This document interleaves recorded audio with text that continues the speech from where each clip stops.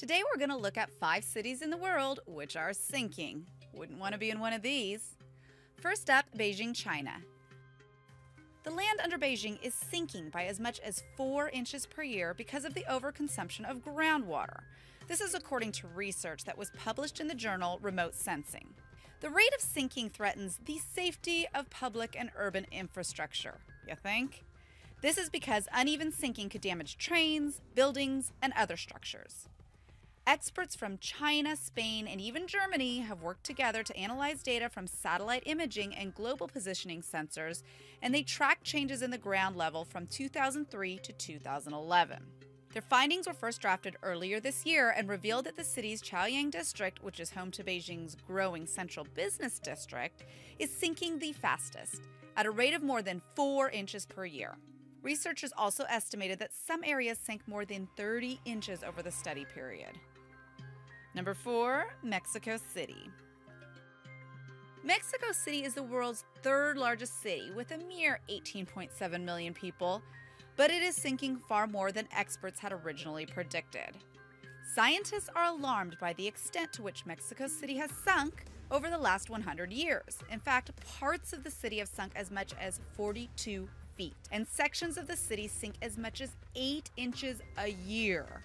The sinking has caused the city's sewage system to back up, very nice, resulting in dangerous flooding. And the sinking is the result of water that's being pumped from the aquifer, which is directly below the city.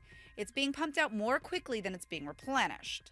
In case you didn't know, Mexico City was built in the middle of Lake Texcoco, and this has been drained. So, pumping water from the aquifer directly below the city is actually causing the city to sink. Roughly 70% of the city's water supply comes from the aquifer that's below the city. It's the very last vestige of Lake Texcoco. Because the rate at which the water is being pumped is exceeding the rate at which it can be replaced, it's weakening the city's foundation. And it's essentially become a mud like lake bed. Number three, Venice, Italy. Unfortunately, Venice may soon have to ditch its nickname of the floating city as it is sinking into the water more than five times quicker than previously thought. Venice sunk about 120 millimeters in the 20th century due to natural and human causes. In addition, the sea level rose about 110 millimeters. These two things in combination are not good. A range of measures, such as restrictions on groundwater extraction, were introduced to stabilize the problem. But a recent satellite mapping suggests that these may not be enough, as the city is still subsiding by 1 to 2 millimeters a year. Scientists say the city is also tilting to the east and heading out to the Adriatic Sea, as it is hit by more floods than ever before.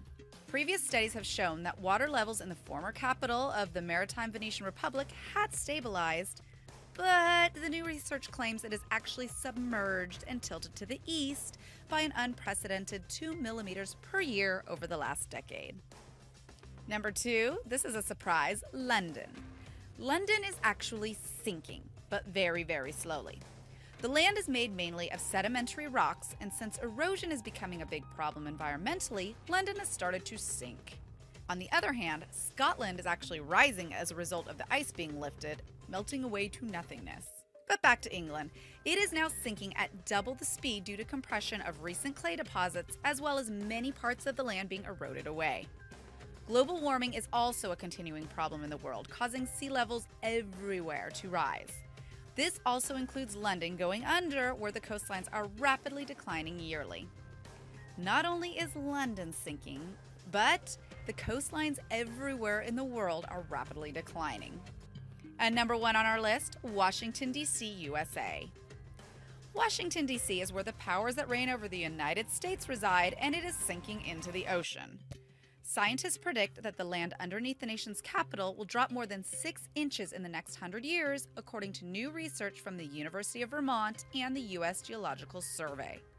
Surprisingly, though, Washington's sinking land is an entirely independent phenomenon from the rising sea levels, which scientists have attributed to climate changes in the past.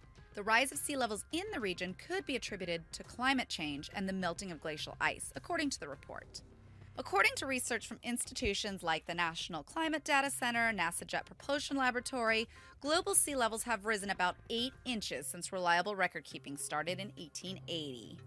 Those sea levels are projected to keep rising another 1 to 4 feet by 2100. Thank you so much for watching. If you enjoyed the video, please let me know by clicking on the like button and do share, write a comment, and don't forget to subscribe so that you can catch up with my next video.